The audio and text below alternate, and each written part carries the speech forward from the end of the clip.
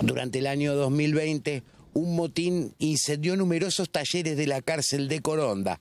Hoy, a más de tres años de ese hecho, se vuelven a reconstruir en ese lugar. Y de repente hubo el motín que nos prendió fuego todo y, y, bueno, y como decía hace un ratito, tuvimos que cerrar todo, asegurar todo porque trabajábamos en burbujas y no teníamos internos para trabajar.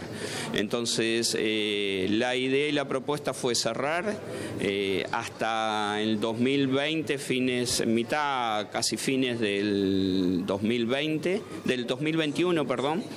Eh, y bueno, y a partir de ahí comenzar a trabajar y esto es, eh, lo decía recién, esto tiene un sentido que va más allá de, la puesta en marcha del taller, sino que es eh, renacer de la ceniza. Hoy por hoy, la cárcel de Coronda tiene más de 2.300 internos y desde la dirección reconocen la superpoblación, aunque también hacen hincapié en la tarea del Ministerio de Seguridad en la detención de delincuentes. Con la reparación integral de baños que eran lamentables y que de hecho todavía seguimos teniendo alguna, porque todavía no hemos terminado de intervenirlo, pero realmente eran desastrosos, darle dignidad no solo al empleado, sino también al interno y trabajar en serio con lo que es la reinserción del interno. ¿Cuántos internos tiene hoy la cárcel?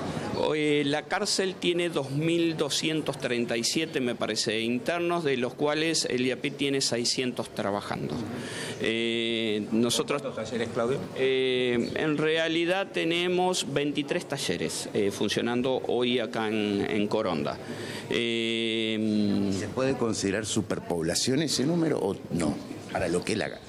Eh, lo que es la cárcel, sí, en todas las cárceles, o sea, eh, el Estado provincial y a través del Ministerio de Seguridad, algo que muchas veces no se dice, eh, esta superpoblación es producto de un buen trabajo y de un buen desarrollo de lo que es la política de seguridad que viene llevando adelante el Ministerio, o sea, los internos no vienen porque le gusta, sino porque son fruto del trabajo de un montón de hombres y mujeres que pertenecen al Ministerio de Seguridad y que ponen lo mejor de sí para que esto se logre, separándolos de la sociedad y bueno, y trayéndolos a un lugar para que sean reinsertados nuevamente en la sociedad.